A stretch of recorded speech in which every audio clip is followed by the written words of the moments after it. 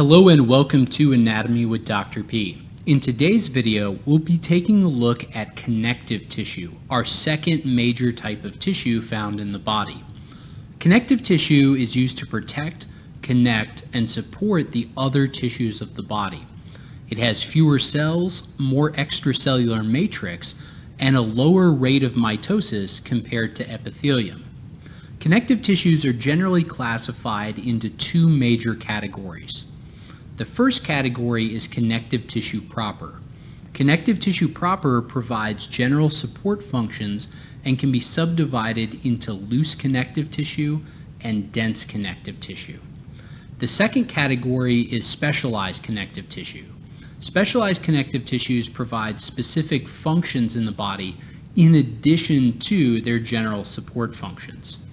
Keep in mind that different sources often categorize connective tissues differently. For example, adipose tissue, which we'll be talking about in another video, is sometimes classified as a loose connective tissue or as a specialized connective tissue. We're going to begin our exploration of connective tissue proper by looking at loose connective tissues. Our first type of loose connective tissue is areolar tissue. The word areolar means little space in Latin and is a fitting name for this tissue. The slide we're currently looking at is a mesentery, a structure that anchors organs in the abdomen. Let's zoom in so we can get a better look at this areolar tissue. Notice how this tissue has sparse, irregular networks of collagen fibers and elastic fibers with all of these cells scattered between them. This tissue is always found beneath epithelium and its primary function is to bind and support the epithelium that sits above it.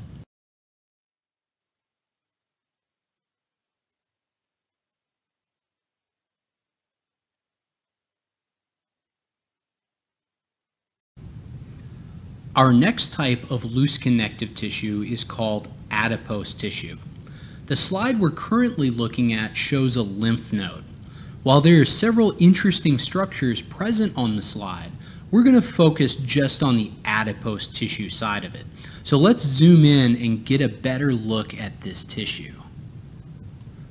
So as we zoom in, we can see the adipose tissue showing up here. Notice how this tissue is mostly composed of adipocytes, fat cells.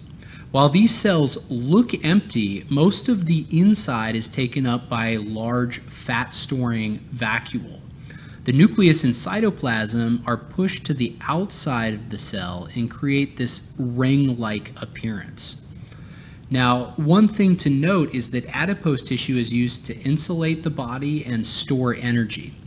We're going to classify it as a loose connective tissue, but be aware that other sources may classify it as a specialized connective tissue.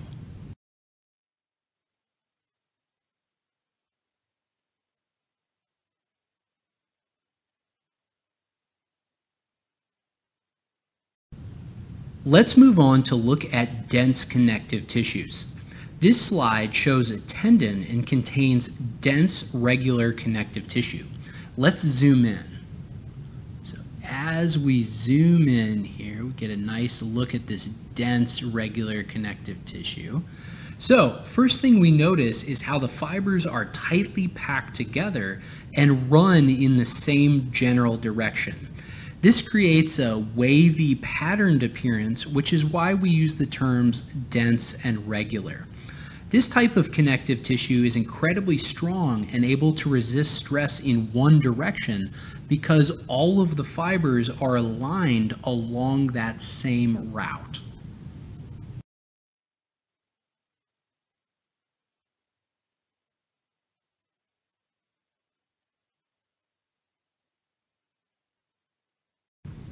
Our next type of dense connective tissue is called dense irregular connective tissue. The slide we're looking at should be familiar because we saw it earlier in lab. We can see the two layers present in this thick skin slide. The upper layer, which is shown in this dark purple, is the epidermis and contains a keratinized stratified squamous epithelium. But we're going to be focusing down here on this lower layer, the dermis. So let's zoom in so that we can see the tissue present here in the dermis. Now, as we zoom in, the first thing that we notice is how the fibers are very tightly packed together. However, notice how they're all running in different directions. This is why we use the terms dense and irregular to describe this type of tissue. It's a dense, irregular connective tissue. Dense irregular connective tissue is able to resist stress in multiple different directions because of the random orientation of its fibers. This allows the skin to move in multiple directions without tearing.